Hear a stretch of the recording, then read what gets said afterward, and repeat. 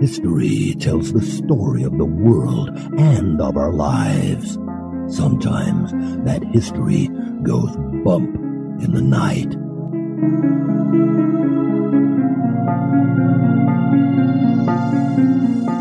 Broadcasting from the center of oddity and the supernatural in Central Florida, it's the History Goes Bump podcast.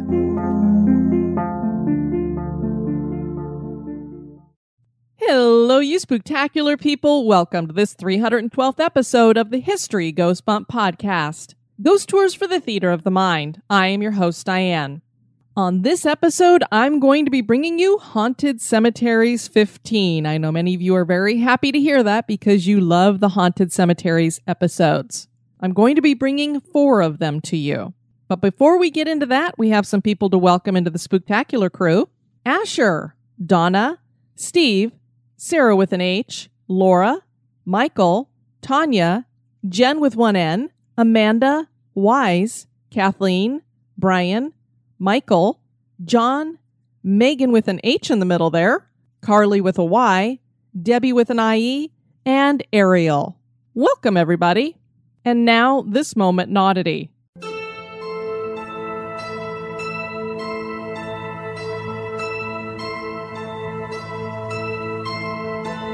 Back in September of this year, 2019, a story ran on Cleveland 19's website that a six foot long boa constrictor was found in the front yard of a home in Brecksville, Ohio.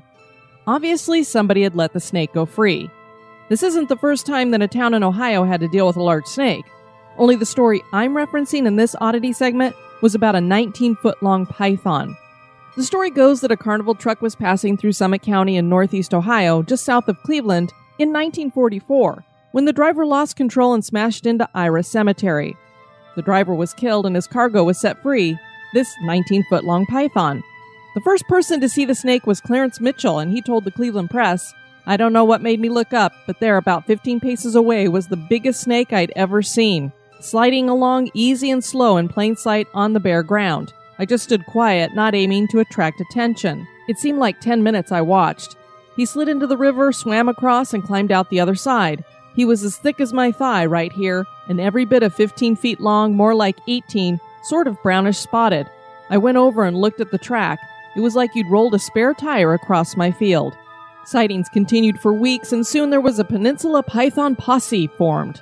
A person would report seeing the python, but the posse was always a couple of hours behind the snake, which was reported to have a head as big as a man's head. Evidence it would leave behind included this wide tire like track. The town was getting hysterical about the snake, but there were those who didn't believe the reports of the snake were real. Eventually, the python was no longer seen and just seemed to disappear. The town of Peninsula never forgot those days of python hysteria, and to this day they hold an annual Peninsula Python Day festival. And that certainly is odd.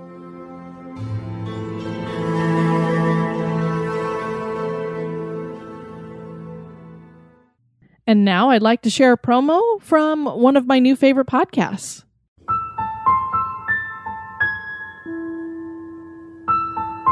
Hi, I'm Vanessa, and I'm the host of Fabled, a bi weekly podcast that explores mysteries, legends, lore, ghosts, and fairy tales. Investigation of these tales of woe often reveal grim details that have been long hidden in dark corners of history. Every story is a mix of both fact and fiction, and so are the episodes. Look for me anywhere you listen to podcasts, and say hello on social media at Fable Collective. So go ahead, settle in. I want to tell you a story, and then maybe I'll tell you the truth. And now, this month in history.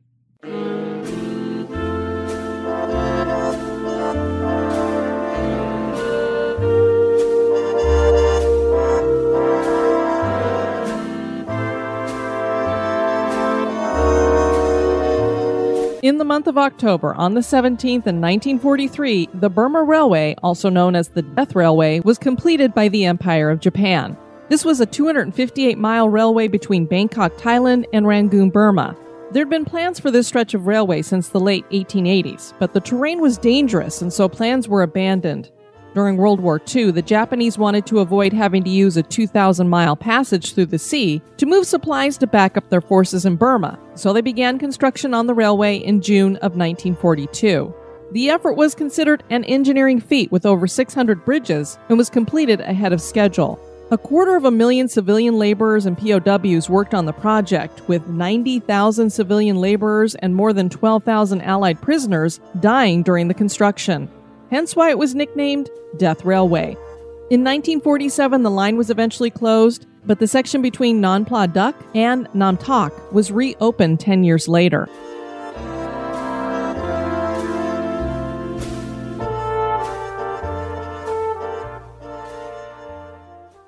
Cemeteries are all unique, and there are many varieties from classic Victorian garden cemeteries to forgotten and overgrown burial grounds for criminals. I love each and every one, although a handful make it onto my top 10 list. And on this episode, I will share a new one that has been added to that list. I always hope that in doing these haunted cemetery episodes, that I will transfer my love of cemeteries to the portion of the audience that aren't already taphophiles. I know many of you are. And this love will continue to grow and spread so that we have less and less stories of vandalism in graveyards. Unfortunately, there are stories of vandalism inside some of these cemeteries on this episode. Each also has tales of unexplained activity. Join me as I share about Bass Cemetery in Birmingham, Salem Cemetery in Winston-Salem, Woodpecker Hill in Canon City, and Oakland Cemetery in Atlanta.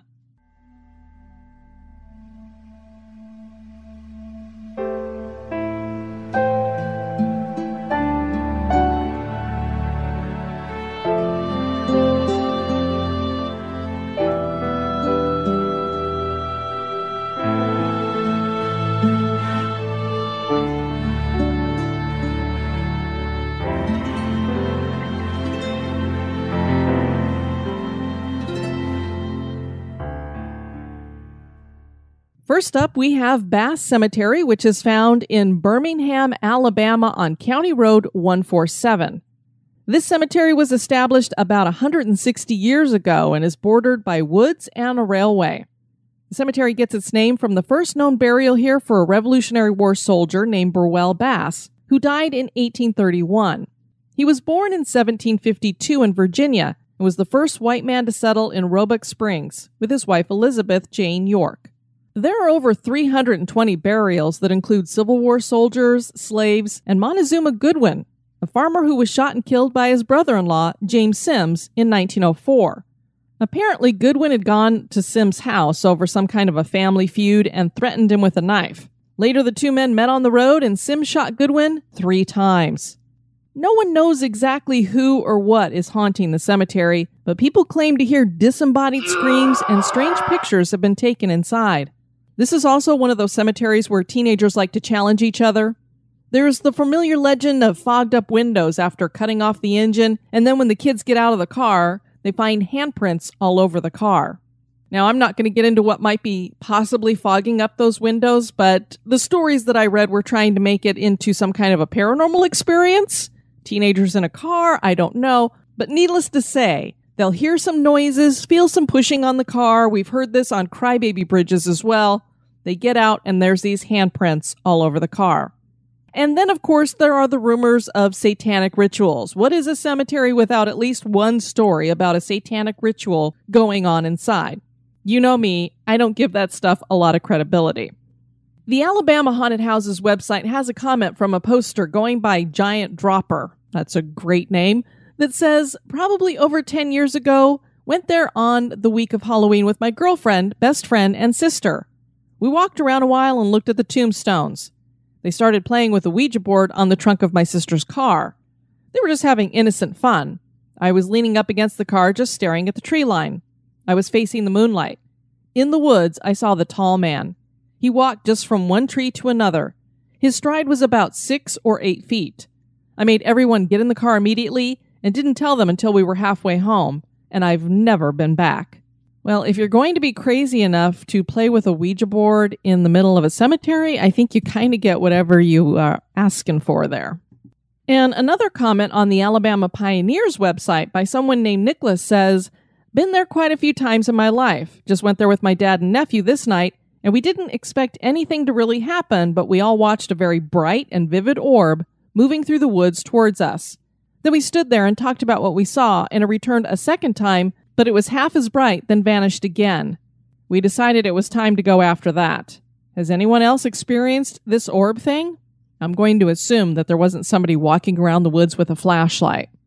This cemetery has suffered a lot of vandalism, and even a former crypt was destroyed, rebuilt, and destroyed again. So it definitely needs some tender loving care there. Next up, we're going to Winston-Salem in North Carolina to the Salem Cemetery. And this is actually a cemetery that I have visited. The Salem Cemetery in Winston-Salem is located at 301 Cemetery Street, right next to the God's Acre Cemetery that belongs to the Moravian Church. This cemetery was established for the burial of non Moravian people in 1850. We talked about the Moravian people in episode 108. That's when we were talking about haunted Old Salem. And I had the pleasure of visiting Old Salem a couple of years ago, and I walked through both of those cemeteries, God's Acre and Salem Cemetery. They are very different, with God's Acre being very uniform, with flat gravestones that all look the same. Whereas the Salem Cemetery is your standard large cemetery with upright stones and a more haphazard design. There's hills, lots of trees, that kind of thing. God's Acre has no stories of hauntings, but there is a haunting tale connected to the Salem Cemetery. Before we talk about the ghost stories, let's talk about some notable burials here. There's General William R. Boggs, who was a Confederate general during the Civil War. And since he worked as a civil engineer, he helped to design fortifications for the seaports. On the east side of Savannah is Fort Boggs, which was named for him. He had attended West Point with several other men that would go on to be Union generals. So basically, he was probably fighting some of the same guys that he'd gone to school with. He went back to engineering after the war and eventually moved to Winston-Salem, where he died at the age of 82. One of the famous burials here is for a man who brought us lung cancer, R.J. Reynolds. He was born in 1850 to a tobacco farmer and soon joined the family business. He eventually sold his share and moved to Winston-Salem where he started his own tobacco company and was soon the wealthiest man in the state of North Carolina. He died in 1918 of pancreatic cancer and was buried in the family plot here in Salem Cemetery. Another notable burial is for Zachary Smith Reynolds, who was the son of this tobacco magnate R.J. Reynolds. He was born in 1911 and got into flying very young, and because of his love for aviation, the Smith Reynolds Airport in Winston-Salem was named in his honor. Both of his parents were dead by the time he was 13, and an uncle raised him and his siblings.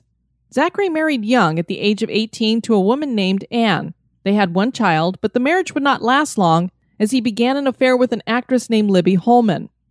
That couple would have one child who was born premature, weighing only 3.5 pounds. Although it was at a time when medical was not as good, their son Topper survived and lived to the age of 17 when he died in a climbing accident. Zachary was the youngest heir to the tobacco fortune when he died from a gunshot wound at the age of 20. He was found at his family's estate with a bullet wound in his head under mysterious circumstances. His wife Libby would later be indicted for murder, but the charges were later dismissed by the Reynolds family. I'm not sure if it was suicide.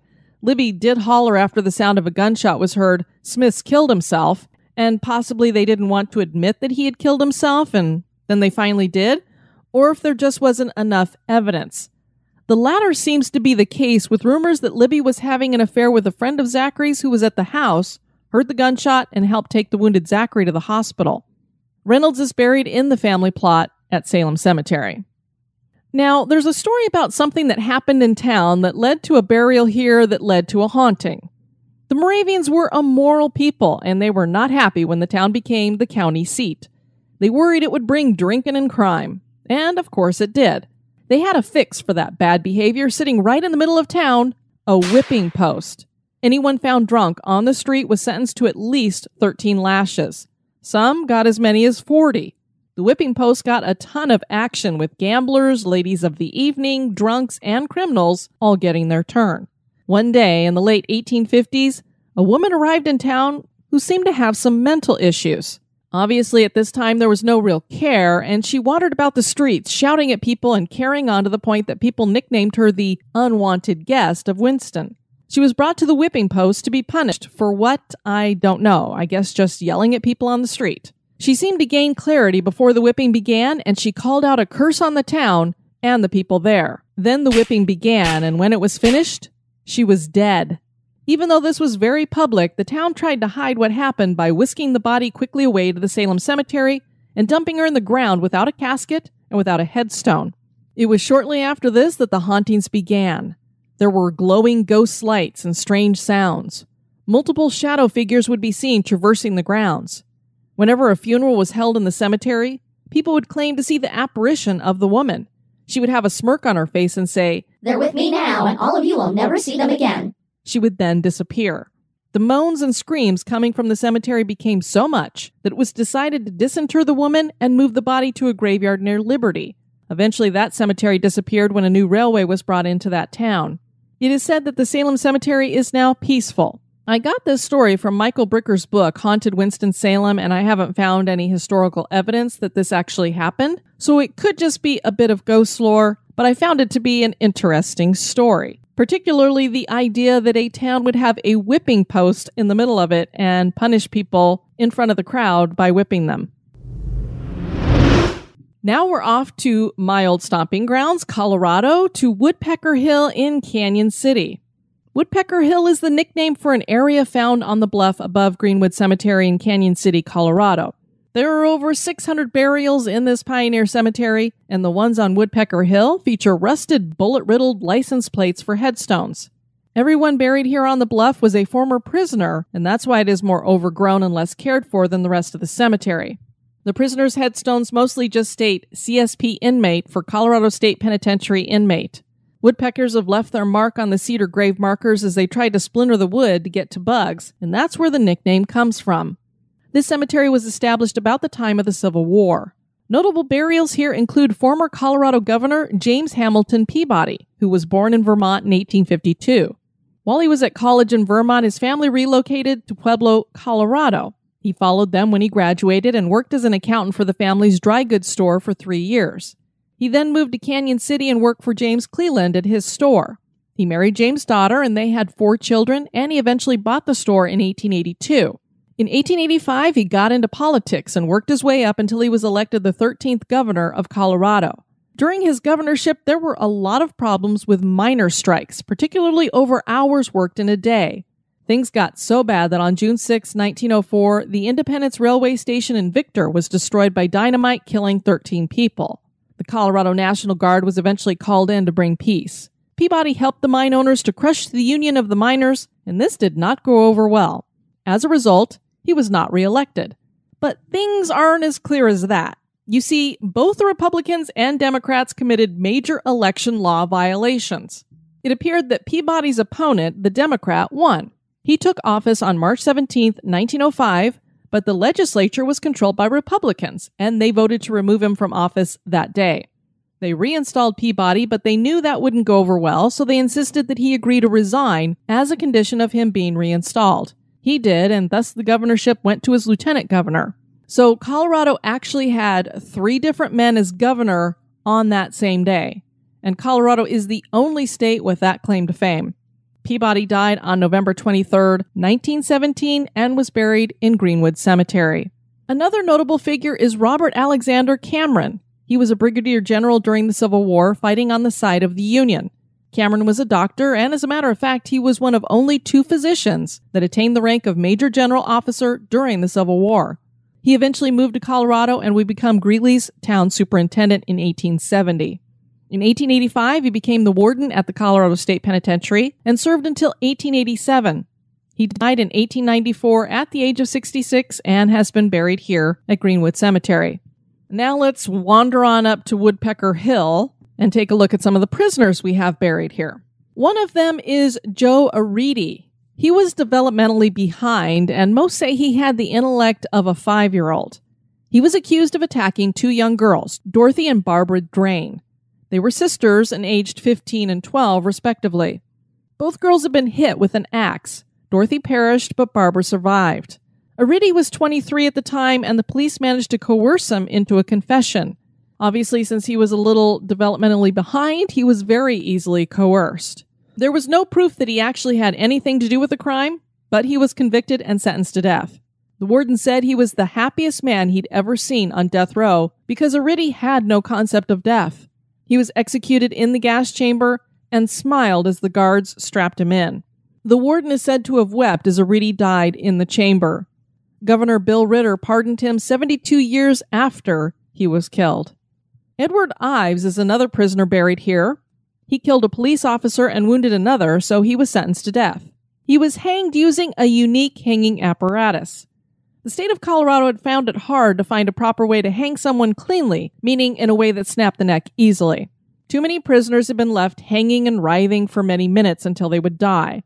So they developed a pulley system that would send a weight hurtling down a chute when a guard pulled a lever. This would pull the rope taut as the prisoner fell through a trap and was supposed to break the neck. It kind of threw him up into the air, and I guess when he came back down and that rope went taut, it was supposed to break his neck.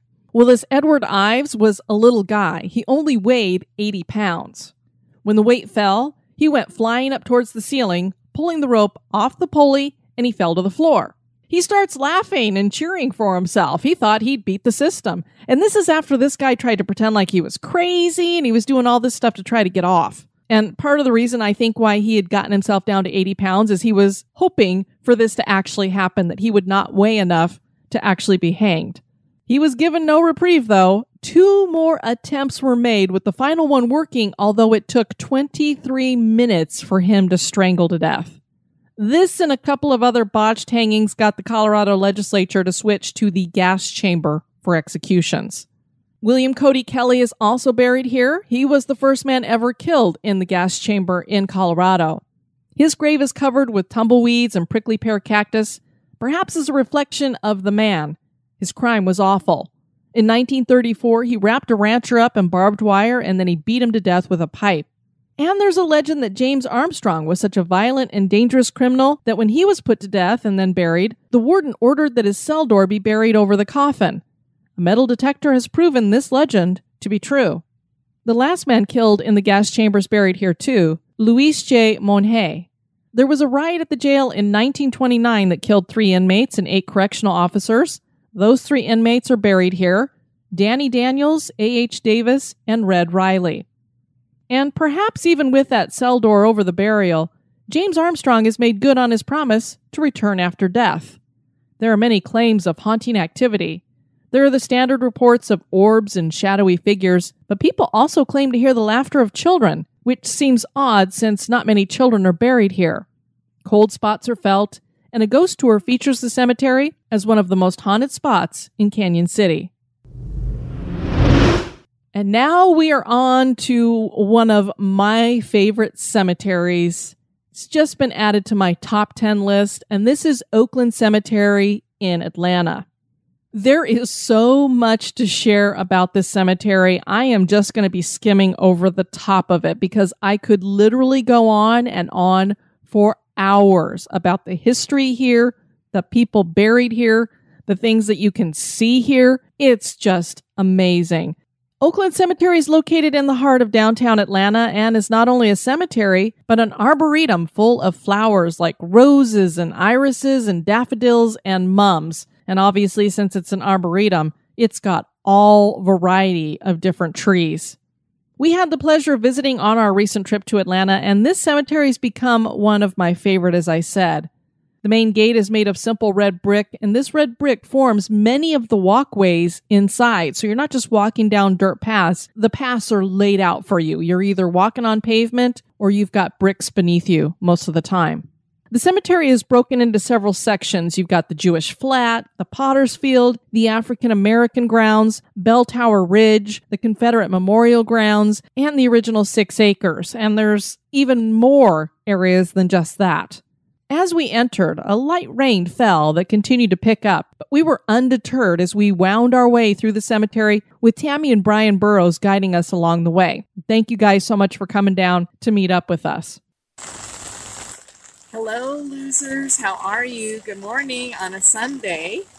We are at Oakland Cemetery in Atlanta, Georgia. Oh my gosh, this place is gorgeous. If you ever get a chance to come to Atlanta, you've got to check out the Oakland Cemetery.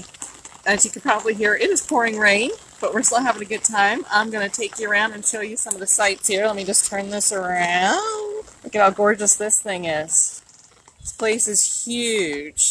Yesterday, they had a special 5K here called Run Like Hell. And uh, Christy Bacon, who is one of the fellow Spooky Crew members, ran that yesterday. She also did it last year. And I'd wanted to do it last year. We didn't get a chance. And then I was going to, I was like, oh, we're there to do it this year. But unfortunately, I was speaking yesterday at noon. And I was like, there's no way I can get over there, run the 5K, and be back in enough time. Maybe next year we'll get to do it. We're here with uh, Tammy and Brian Burrows, who are also Spooky Crew members. They came over with us. We had some breakfast this morning, and then we decided to head over to the cemetery before we leave town. Look at that. Just gorgeous. You got it through the door? Yeah, you can see the, the colors of it a lot better through the door. This is also, as you can see, when you look around, full of trees, right? So it's also one of those fabulous cemeteries that's an arboretum as well. I can't even imagine how old this tree is here. Looks like a magnolia to me. I have never seen a magnolia do this with its limbs. I mean, they are all over the place. It's gotta be hundreds of years old. Oh my gosh, I am totally in love with this cemetery. Look at this. Got a great window in there too. Absolutely. One of the best. And as you can see, they have different material that they've used here too. So you've got some, I would say that's probably marble. Got some benches for sitting all around. So it's really made to be like a park too, as should be the case. A must stop is the Bell Tower, which now houses a visitor center and gift shop full of books. We walked out with several in hand. One of them that I picked up about the cemetery was written by Cathy J. Kaemmerlen and is titled The Historic Oakland Cemetery of Atlanta Speaking Stones. I love that title, Speaking Stones. There are so many things to love here from the variety of trees and vegetation to the statues to the huge mausoleums. And when I say huge, I mean huge to the intricate symbols on the headstones. And there are some ghost stories as well. And it was cute when we were walking around with Tammy and Brian and I was visiting with Tammy. I said, This place has got so much history in it. It's got to have hauntings. Have you heard anything? And she said, No, but you're right. I'm sure it is. So when I got home, I started looking up stuff and sure enough, I found a few things, which I was glad because I wanted to feature it on a haunted cemetery so I could talk to you guys about it. Oakland Cemetery was first known as Atlanta Cemetery and was established in 1850 after the city of Atlanta outgrew its downtown municipal cemetery. The original grounds were just six acres of farmland, but additional land was bought over time, and today it is 48 acres. There are approximately 70,000 people buried here. Anyone who died in Atlanta from 1850 to 1884 would have been interred here, and the first person buried here was the wife of the farmer who sold the initial acreage to the city. Her name was Agnes Wooding. The cemetery took on elements of Victorian influence and became a park for the city with cast iron benches and hosted many picnics. The next burial was for Dr. James Nissen, who died in Atlanta in 1850 while attending a physician's conference. He was afraid of being buried alive, as so many people back in the Victorian era were. And he must have known that he was going to die, or maybe it was just a request he'd made to somebody that, in general, that whenever he was buried, he wanted this to happen. He requested that his jugular vein be severed before he was buried. So there was a doctor in attendance at his burial who did that right before they put him in the coffin and into the ground. He is in the original six acres. There are many notable burials here. One belongs to the first mayor of Atlanta, who was Moses W. Formwalt. He was a self made man making his fortune in the tin and copper business. Much of the copper was made into stills, and he was against prohibition, of course. When he ran for mayor, he ran against an opponent that was a law and order kind of guy and pro prohibition candidate. He won and served for one year. He later became deputy sheriff, and in 1852 he was stabbed to death by an inmate he was escorting from council chambers. For some reason, he was placed in an unmarked grave. I mean, you think this guy was the first mayor of Atlanta, he would get at least a marked grave. In 1907, he was moved to a better plot and given a marker near the bell tower. And speaking of the bell tower, It is Romanesque in style and was built in 1899. The first floor originally had a chapel and office for the sexton, with living quarters for the sexton on the second floor. The watch house was built in 1901 and is the office for the cemetery security team. The first greenhouse in Atlanta was also here in the cemetery and is still located here, but in a different form. The original was built in the 1870s, then replaced in the early 1900s. Because of neglect, much of it was removed in the 1970s, but the brick walls still remained, and now there's a new greenhouse that was donated in 2015. And it had all kinds of flowers growing in it, from what we could see, including orchids. Another notable burial is for the first African American mayor of Atlanta who was elected in 1974, Maynard Holbrook Jackson Jr. He served for three terms and helped bring the Olympics to Atlanta in 1996. He died in 2003 and he was buried with his marker facing the Atlanta skyline, which is interesting to see as a backdrop to the cemetery. So you're standing in a cemetery and you can see right over the ridge all these tall skyscrapers. So it's kind of weird to be in a cemetery and seeing all these skyscrapers everywhere. There was a little girl who kept a diary during the siege of Atlanta. Her name was Carrie Berry Crumley, and she was 10 at the time. Her journal is still used today by historians to get the perspective of a child's view of the Civil War. She died in 1921 and was buried in the original six acres. Carrie Steele Logan died in 1900, and she was known as the Mother of Orphans she was a former slave who founded the first African American orphanage in 1888, and that home still exists today.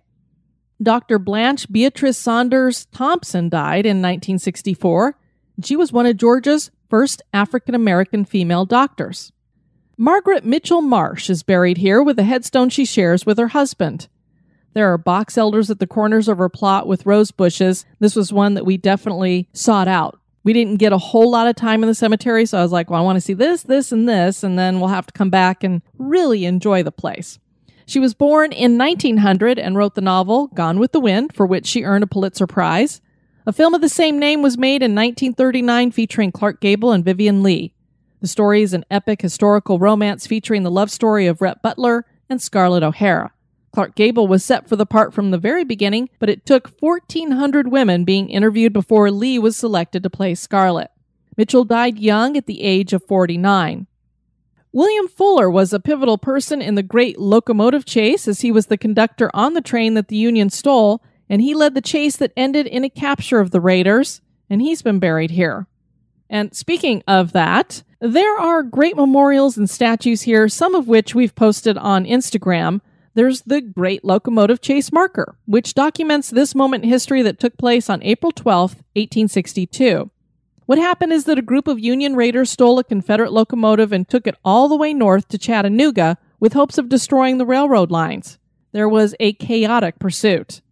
There's the granite carriage step here that is the last of its kind in Oakland, and it was used back in the days of picnics for women to get out of their carriages.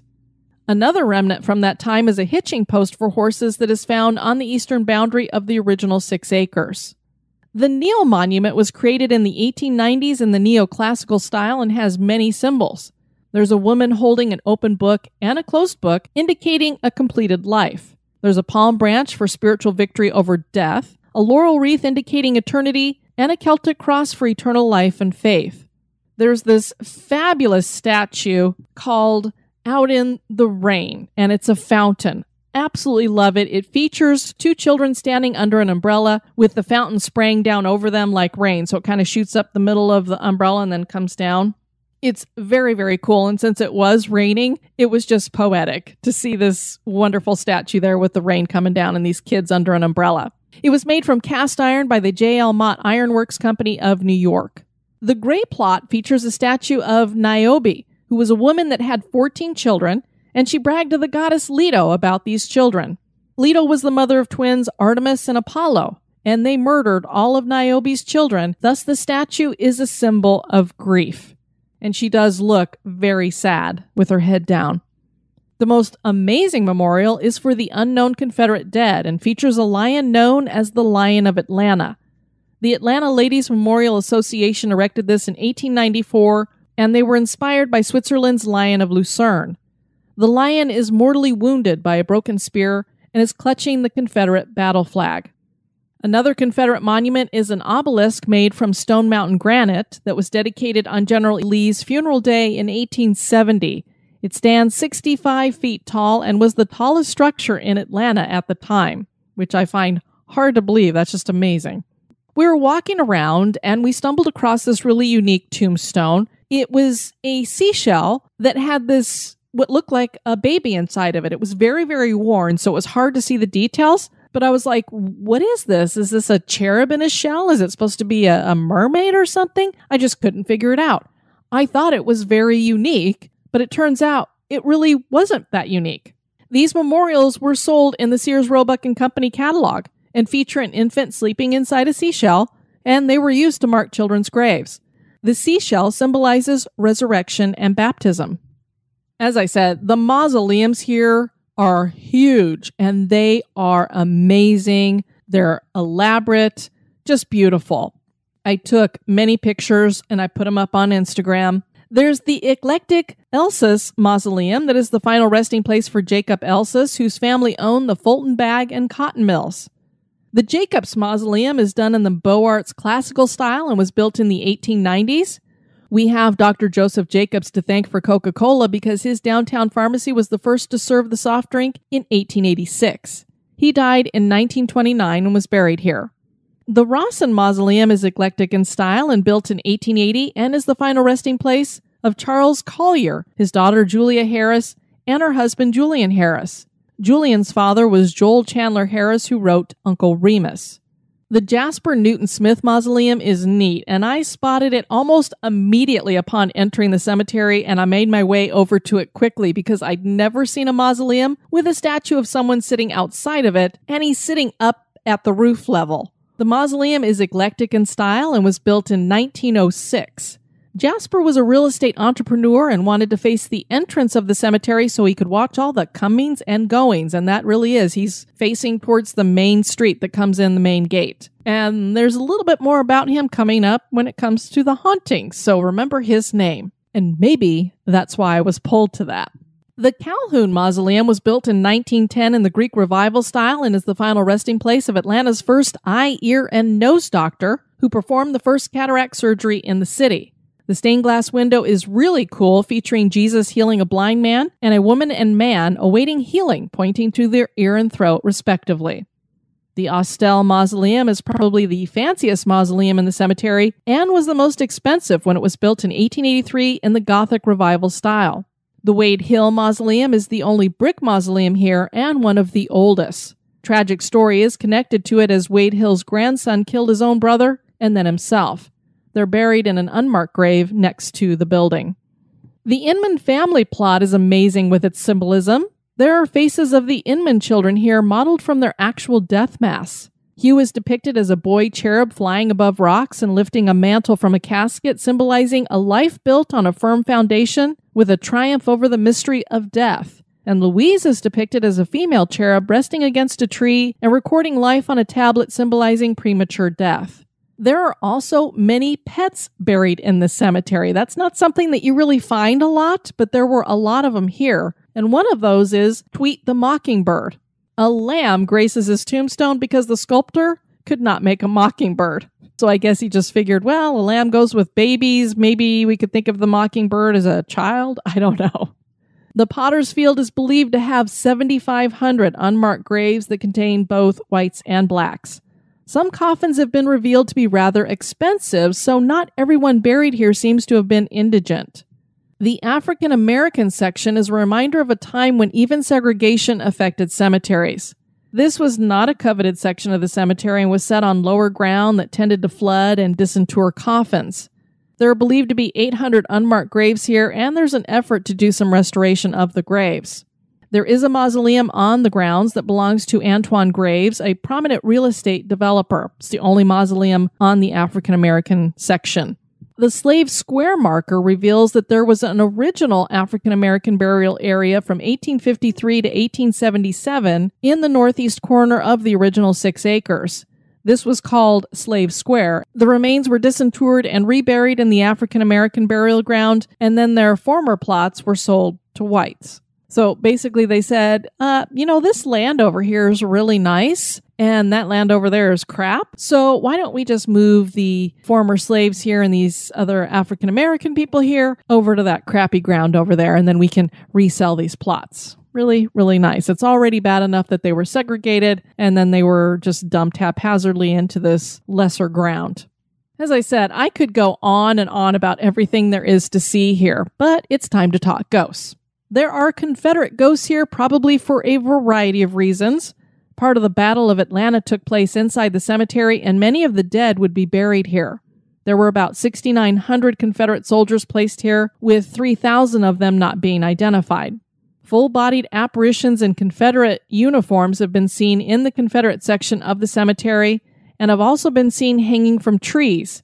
Now, there are some people who say that the hanging bodies that they've seen in the trees are Union soldiers. So I'm not sure which is which, but they have seen soldiers hanging from the trees. Possibly these were those who were executed by hanging because of the Great Locomotive Chase. I'm not sure if that might be the reason why or if these were prisoners of war. Not really sure.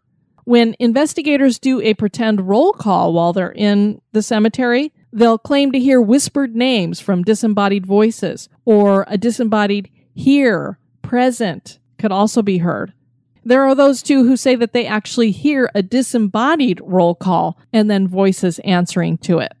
A cemetery employee claims to have seen a shadowy figure moving through the cemetery. The statue featuring Jasper Newton Smith is said to get up out of its chair and climb down to the ground and then walks through the cemetery. Could this have been that shadowy figure? Oakland Cemetery is a cemetery bingo dream. There are so many symbols in this cemetery, and the self guided tour map that you can purchase details many of the symbols and their meanings. This is a must see if ever in Atlanta. For us Taphophiles, any cemetery is really a must see. I've been to two of these that I've shared with you, so I've got two more to visit. Are any of them haunted? That is for you to decide. I know a lot of you love these haunted cemetery episodes, and I do as well because I just absolutely love my cemeteries. Want to encourage you guys to check out the website at historygoesbump.com. And if you want to send me some feedback, you can do that at historygoesbump at gmail.com. I got an email from Kelly. She says, I'm a new listener to your podcast and I'm enjoying it immensely. I recently listened to the episode about the history of witch trials and was excited that you covered the Hildebrand Evans trial that took place in Bethel, Ohio. And if you'll recall, Jessica from Shoes, Booze, and Tattoos was the one who shared the history there. I just asked her if she'd look into it and, and share a little bit about it. So thanks, Jess, for that. I lived in Bethel from 1984 to 1990, and there are a few more legends and myths associated with the trial. I heard a few from the locals and read and watched a few from Clermont County historian Rick Crawford's books and DVD about local hauntings. A Super America filling station now stands on the site of Nancy's cabin. Employees and customers there experience paranormal experiences, mostly occurring in the refrigerated storeroom. Voices are heard, and sometimes an employee will be grabbed by an icy hand when in that room. There's a depression in the ground behind the store that still marks Nancy's pond where the trial took place. Although it's been proven that Nancy moved away and lived out her life in peace, the local legend states that she contracted pneumonia from being dunked in the pond in cold weather and died from it, cursing the town with her last breath. If this were true, it might explain why her spectral hands are so cold, aside from her penchant for refrigerated rooms. Also, allegedly, there was a parade of sorts, complete with a marching band from town to Nancy's cabin on the day of the trial. Small town folks love a spectacle.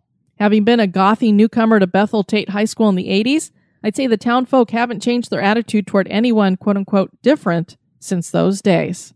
Thanks for writing, Kelly. And then I heard from Britt in Oregon.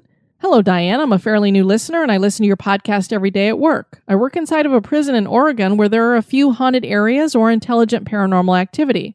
Before the construction of the prison, I hear that two dead bodies were found in the swamp body of water that was on the property. We are not sure what whom is haunting our facility, but it loves opening closet doors, knocking on the doors, and throwing books off the shelf. The facility is made of cement or some type of stone, and I know that type of material holds residual energy, if I understood that correctly. So I'm thinking it's probably limestone. Even our captain has his own little file on paranormal happenings at the prison. Well, that's very cool because usually they don't want to talk about that stuff. I particularly love listening to your podcast on state hospitals, asylums, and prisons since I work on the mental health side of things. I'm so happy I still have like 250 more podcasts to listen to. Well, first, Britt, thank you so much for your work on the mental health side of those kinds of things, especially in those locations. It would be so much tougher, I would think. I really enjoy doing those episodes, even though they can be a little bit tougher because uh, the stories that go with those places are not very cool. And then I wanted to share a couple of things that were put up on the Spooktacular Crew group over on Facebook. First, we have Missy, who wrote I just listened to the Kentucky Caves episode, and about two years ago, when we moved to Florida, we stayed in Kentucky and went to Mammoth Cave for a few days. When I was in the caves, I was with the tour guide, and she had a lantern, and she had set it down, and behind her on the wall in the cave, I saw a shadow that looked like the outline of a Native American with a headdress and everything. When I asked her about it and we kind of went and looked, there was nobody there, so I'm not sure what I saw, but I definitely believe there could be something in those caves. That's a pretty weird shadow to see. It's not just a shadow figure, it had a headdress. Very interesting. Thank you for sharing that, Missy. And Summer wrote, I lost my son eight years ago today, Memphis Jack. He was 17 days old with a severe heart defect. He was a fighter but needed rest. I'm sharing because it kind of has an otherworldly connection, and I thought today was a good day to share it. I felt the ripple when he left. I see signs all the time, or what my brain says are signs, like cardinals and turtles. But my oldest daughter, Edison, born 18 months after Memphis, has had a connection to something we don't since she was an infant. She wakes up with messages for family or friends and has always felt a connection to Memphis, even though they never met Earthside. My younger daughter, River, does not seem to share this connection, but the night she was born, a phone call came into my sister from an unknown number and a faint male voice saying happy birthday to River on her voicemail.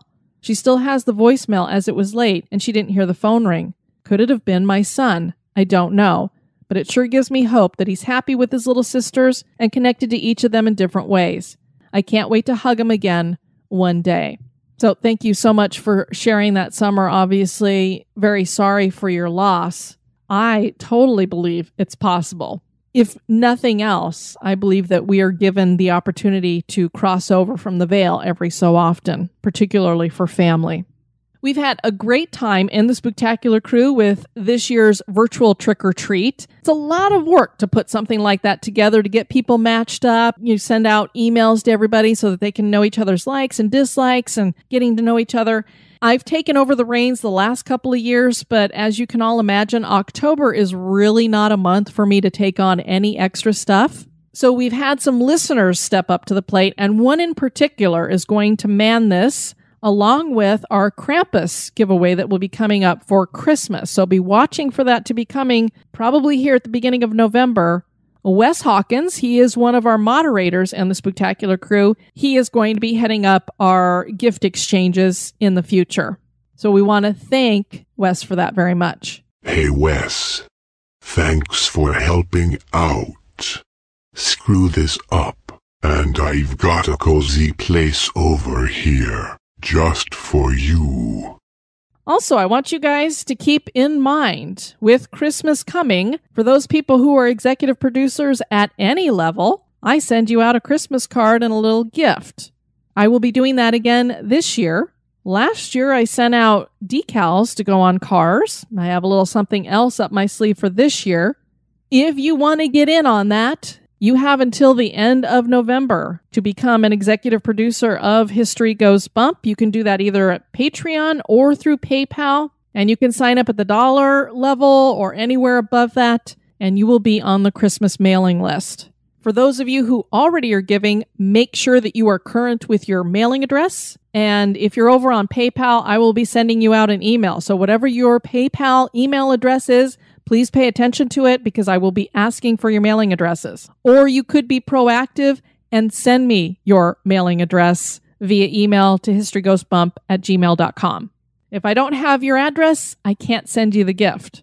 All right, I want to thank you guys for tuning in to this episode. I've been your host, Diane. You take care now. Bye bye. This episode has been brought to you by our executive producers. Dispatches from the Grave Digger. We want to welcome into the graveyard Vanessa Eccles, who will be added to our niche wall. And I want to thank for their one time donations Carly Vondrak and Veronica Rodriguez. Thank you for your support. You can find History Goes Bump on Spotify, iHeartRadio, Stitcher, Apple Podcasts, Pandora, Google Play, and anywhere you can listen to podcasts.